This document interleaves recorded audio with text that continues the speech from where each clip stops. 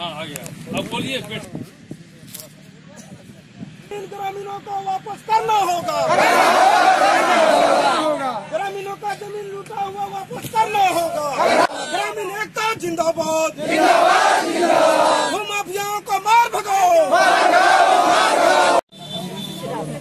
या- जुन बैठा। की हाल फ़िलहाल बताओ। जमे जमना जितने हमने गए तने मने जे है से सब हड़प ले ले।